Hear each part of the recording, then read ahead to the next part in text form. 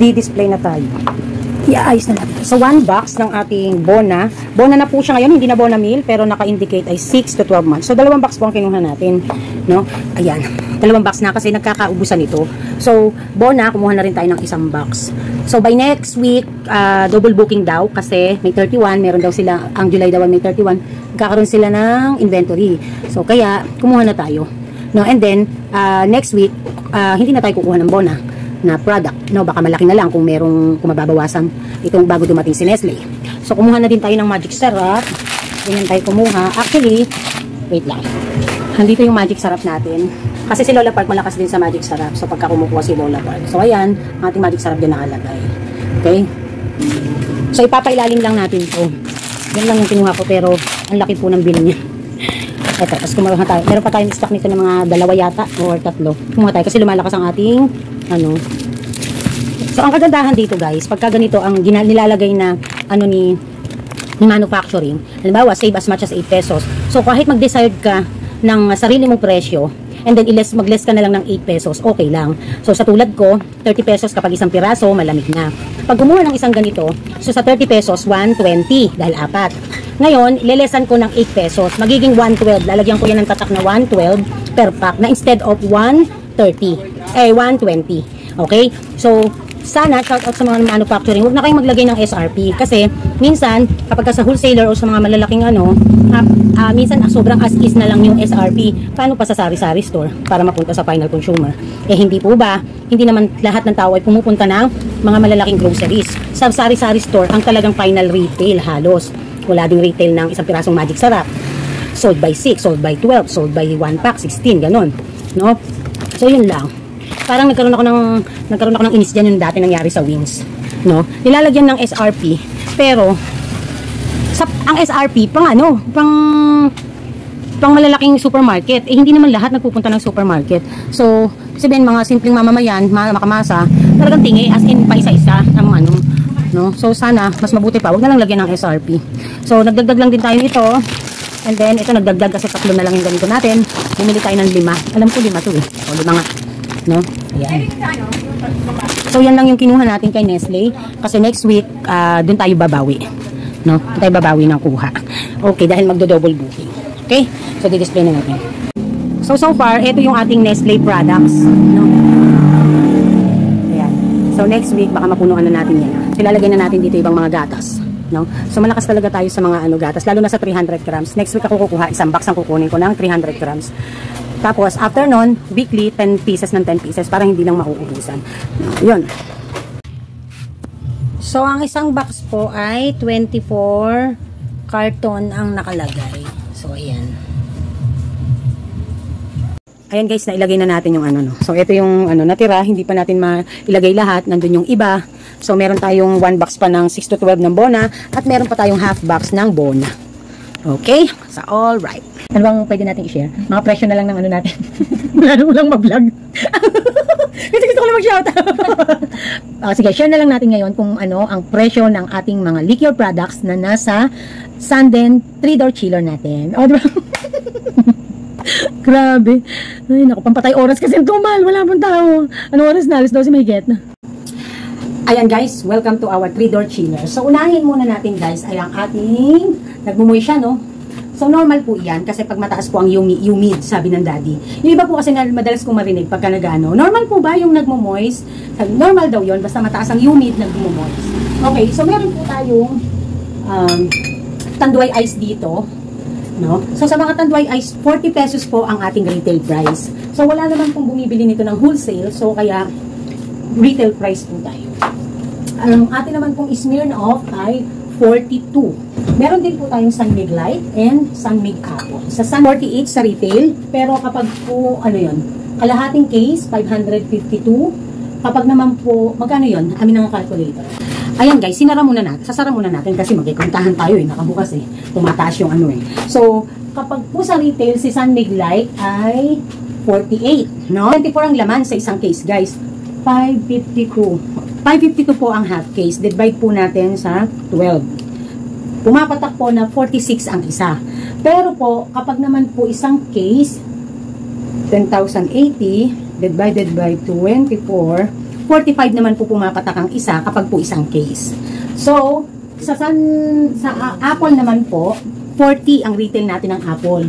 Pagkalahati, 456. Divided by 12, kalahating case, 38. No, less 2 pesos. Pero pag isang case, 888 divided by 24, 37 naman.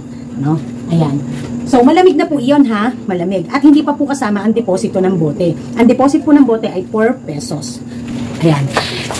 Ito naman po ang ating mga red horse. So, ang ating retail dito ay 58 at ang ating retail naman sa mucho ay 110. So, magkano naman po siya pagdating naman sa half case at saka pagdating naman sa 1 case. So, sa half case ng ating red horse, ang ating uh, mucho, mucho muna tayo, 110 sa retail, di ba? So, 330 naman po ang kalahating case. So, walang discount. Basta malamig yan. Pero pagdating po sa 1 case ay 630. 630 divided by 6 po ang laman ng uh, mucho sa isang case. 105. 5 pesos po ang discount per bottle. So, malaking bagay din, di ba? So, pagdating naman po sa RH 500 or 500 ml, 58 po ang retail natin yan. And then, 336 naman ang ating uh, kalahating case. 336 divided by 6 kasi sa isang case, 12 pieces pagka half case, 6 pieces. So, less 2 pesos again, 56 naman po siya, pumapatak per piece kapag half case. Kapag ka naman po 1 case ay 648 ang 1 case, divide po natin sa 12, pumapatak naman po na 54 pesos ang isa. So, naka-discount po per piece ng 4 pesos. So, imagine 4 pesos sa isang case ay naka, naka, naka ano sila, naka-save sila ng 48 pesos, no? Kasi ang retail nga ay 58. Pero pag isang case ang kinuha nila, 48 pesos ang matitipid nila. Malamig na malamig. So again, hindi rin kasama ang bote at may deposit po tayo sa uh, uh, mucho na 10 pesos each. Meron naman po tayong deposit sa ating uh, 500 na uh, 6 pesos. Okay? So, punta naman tayo dito sa Napi Jelly, Cola, and Coco, Master Coco. Naubusan kami ng cola, pero yun yun. So, ang bentahan po natin dyan ay 8 pesos retail malamig. Kapag naman po isang box ay 65 pesos. Okay, meron po tayong coolers at meron din tayong twist O, kaso naubos. Ang bentahan po natin yan ay 11 pesos ang retail. Pag isang box naman po ng ating twist O ay, tayong isang box ng twist O dito. Parang nasa 90 po yata. Nasa 90 parang gano'n. Tapos meron tayong Sesto Choco. Ayan, ang ating Sesto Choco. Ganyan natin. Ang Sesto Choco naman natin, 25 pesos ang per piece. So, madalang po ang bumibili ng, ano nito, ng isang box. So, kaya wala tayong uh, one box nito. Usually, pagka one box ang gusto, binibigyan ko na lang po ng discount. Like around less 2 pesos each or less 1 peso. No? And then, depende po kasi kung hindi po gagamitin sa pantindahan, kung hindi po kasari, Usually, mga 1 pesos lang per box. And then, meron din po tayong uh, mga Sesto products na Big 250. No? Kung lahat po ng uh, flavors, maliban lamang po sa mango at saka sa guyabano, 13 pesos po ang mango at saka guyabano and then the rest are 12 pesos. Ayan. So, si Choco, 205. Uh, 150 naman si guyabano at saka si mango. And then, 99 naman si apple, orange, pineapple. And, okay. So, pagdating naman po sa ating mga mismo, no? Meron po tayong sting. Ang sting po natin ay 22. Meron din po tayong cobra astig, 20. Meron tayong predator. Product ni Coca-Cola to. Na, magkano sale to, eh, no? 18. 18 pesos. Sale po ito kasi pinapapush ni Ate B ng EKC. Binigyan tayo ng allocation. And then, Mountain Dew is 22. Ang ating mismo Coke, Sprite, and Royal ay 20 pesos. No? Pagdating naman po dito, lahat po ng 8 ounce ng RC Products and Lemon, Coke, Sprite Royal, lahat po yan ay 8, 11 pesos. Pagdating naman po sa ating Cobra, Cobra Green at Cobra na Yellow na debote, 17. Okay? So, dito naman tayo sa mga 1.5 dito sa baba. Na 1.5 dito sa baba, ayan, ganyan, ganyan natin. Ayan. Yung mga 1.5 naman natin sa baba, lahat po iyan ay uh, Coke Sprite Royal ay 68 pesos ang retail. Kapag ka naman po one case, madalang naman pong mangyari yon Usually, binibigay ko po ng 65. No? And then, pagka po meron tayong Coke Zero, uh, or kaya ibang pang mga klase, No, Mountain Dew na, na 1, 1.5, 70 pesos naman po. Okay, punta na tayo dito sa ating panghuling ano, ayan, no? So, dito naman is, uh, meron tayong sterilized na 1 liter. Ang bentahan po natin ay 110, no? 110 and then ang ating ang ating ding fresh milk ay 110. So lumalakas din ang ating liter na sterilized kasi parang natututunan na nila dito. So dito naman tayo sa ating delight na malaki, 55, no? At ang ating namang mga Yakult at saka delight na maliit, 13 po per piece and then 12 pesos per piece or per retail. Pero pagka po malamig, ang ating pong delight ay 65 ang isang pack, no? Pagka naman po uh, Yakult, 60 naman per pack pag malamig. Pag hindi po malamig, 60. Pag naman ang Yakult ay 55, no? But usually po malalamig ang stocks namin. No, madalang pong hindi malamig. Gawa po kasi ng kailangan po keep refrigerated to. Ito po ang requirements kasi mga live bacteria po ito, no? Kaya kailangan pagka nag-i-stock na hindi malamig, kailangan you have to make sure na ang unit nyo ay uh, normal temperature lang, yung hindi mainit, no? Ayan. So, marami tayong stocks niyan sa likod. Marami tayong ano niyan. Mapapansin nyo, eh. Ayun, nandoon. So, usually, ang mga nakalagay dito, 10 pack na ganito. Tapos, pera pa yung naka-display. At uh, mga 6-5 pack ng Delight. Okay? So, punta na po tayo sa ating mga Chucky, no? Mga chocolate drinks, no? Magsakripisyo na tayong tumaas ang, ano natin, temperature ng ating. So, sa Bear Brand sterilized po na maliit, yung ganito. Jay, wala na tayong Bear Brand sterilized na nakalagay. Isa na lang to. Mag-refill ha. 30 pesos per pack. Pero pag bumili po ng hindi malamig at ganito, imbis po na, tulad ng sabi ko kanina, imbis na 120 siya dahil 30 pesos each, magiging 112 na lang kasi save 8 pesos. Okay? Yun nga lang, hindi malamig. No? Okay. So, next would be Chucky. Yung ganito pong kalaki. Ito po bentahan natin 26, ito naman ay 16. No? May bumibili po kasi ng paganito. So, 128 isang ganito, ito anim ang laman, ito anim din. May bumibili ng isang ganito, 88 pesos. So, kung ang retail po ng ating malaki, sana po muna natin. Kung ang retail po ng ating malaki ay 26 pesos, sa animan na 128, pumapatak lamang po siya na 21.33 pesos ang isa. Pagdating naman po dito sa maliit na Chucky, na hindi ito malamig, 88 naman ang anim. So, kung uh, tawag dito, kung 16 pesos ang retail po nito, kung 16 pesos, so, 88 divided by 6, pumapatak lamang po ng 14.66 ang isa. Nakatipid po sila ng 1.33 pesos each, no? Ayan, yun nga lang, hindi siya malamig. So, sa mga pambaon, malaking bagay natin. At malakas to sa amin kasi, sa totoo lang guys, marami kaming Marami kaming stock niya kahit pa paano. Ayan. Oh. Ayan. Ayan yung stock namin. Diba? So, hindi kami basta nauubusan yan ngayon. Lalo na nung nagkaroon po tayo ng ganitong ref, hindi na po tayo basta nauubusan. Ang expected ko nga, hihina yung mga yan dahil bakasyon. Pero hindi rin naman po siya humina. Para lang ding ano, para lang ding may pasukan no. Pero siguro mas mai-expect ko na mas magiging uh, marami ang kailangan namin kasi pag nagpasukan lalo, tataas. So kasi natutunan na rin ng mga tao. And talagang na ano na nila, dahil natatanong nila yung ref natin, yung chiller natin, na we are possible can offer ng malamig. Kasi yun yung talagang dilema namin before. Kaya nga po nagdesisyon talaga kami bumili nito. Kasi yun yung lagi na lang naming uh, uh, tawag dito, yun na lang yung lagi naming sinasabi sa customer na hindi pa malamig, hindi pa malamig, wala pang malamig. So, nahihiya din kami, no? So, kaya, eto, pinush natin ito para nang sa ganun ay malamig yung nabibili nila na hindi naman nagtaas ang presyo, same price din. Tulad ng dati. Okay, next would be uh, two Nutriboost. So, dati, hindi nabibili masyado Nutriboost ko dito. Nagulat din ako, no, na naging mabili natin, kaya boxes na rin tayong kumuha nito kay EKC. So, ang bentahan naman po nito, wala akong wholesale nito, ang uh, retail price is 15 pesos. Ano ba?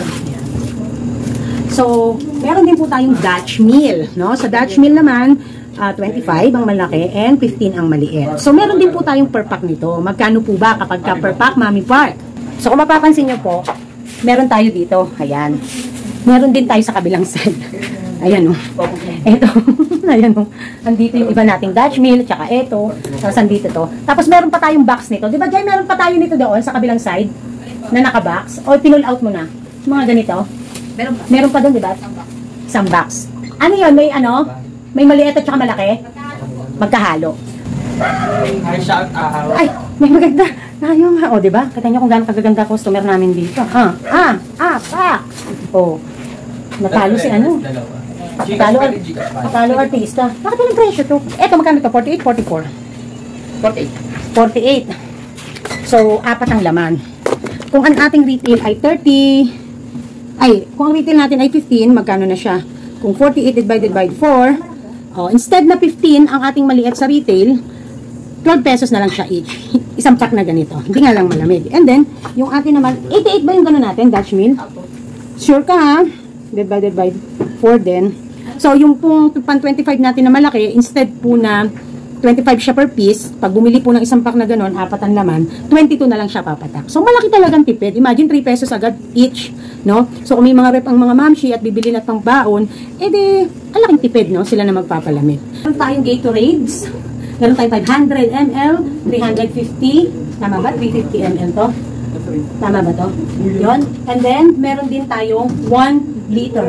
Yan. So, 115, 47, and 37. Okay. So, meron din tayong sa C2. May 1 liter tayo ng C2, which is 58. And then, yung 500 naman niya ay 35. And then, yung ah, 350 is 30. And C2 Solo is 16. Bottled water, no? So, yung 500, yung 1 liter natin, 22. Yung 500, 15. And then, yung 350, 10 pesos. Malamig na yan. So, sa mga kasalo natin, all kasalo or family size soft drinks, including na ang lemon, RC Cola, and Sprite Royal Coke, ay lahat 28 pesos. Ang deposit po ay 10 pesos. So, yon So, yan ang laman ng ating ah, rep, no? Marami tayong kulang, honestly speaking. Wala dyan ang ating beer pilsen kasi sold out po siya kagabi. Kagabi ba yung nab nabili, Jai? Yung beer pilsen? Anong absent ka? Thank you, bebe. Nung, nung, nung absent si Jai nung isang araw, nabili po yung ating one case na beer pilsen, no? Actually, kinulang po ng, ano, kinulang po ng two pieces. Kaya po, ang pinalit na lang ay Sunmig Apple. No? So, baka sa Saturday, baka makakuha na tayo. So, na na tayo, nabibilan tayo ng beer, beer pilsen. Imagine that. Ah, isang case, ganyan, isipin mo, mapupull out mo agad. Isang case po kasi pwedeng kasya dito eh. Kaya kami, hindi namin kailangan basta magtipid ng space. Kasi, na-accommodate niya talaga. Di ba, Jai? Na-accommodate po talaga. Ewan ko lang sa Pasko. No? Siguro, magyayelo na lang. Yun na lang ang option. So, kaya, natutuwa lang ako, no?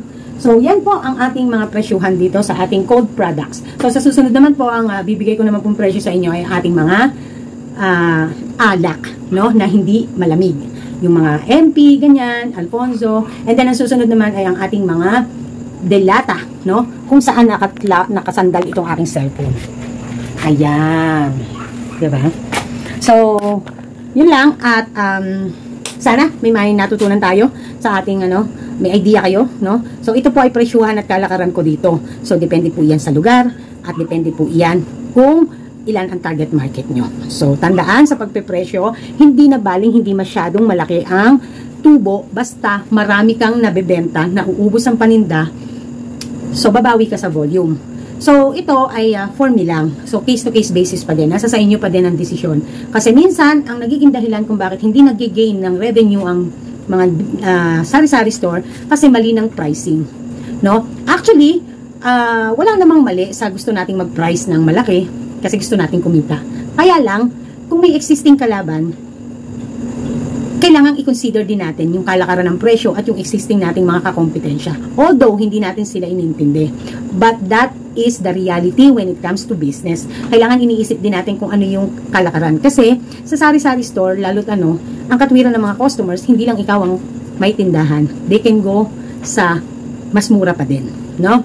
Yung yung kung sakali namang magkakapare-parehas kayo ng presyo, sa magkakatalo naman kayo saan? Pagdating sa customer service. Yun naman yun. No? Okay, so, paano? This is Mami Park and this is Team Park. Nagsasabing, Tindera is my proud career fighting. Bye!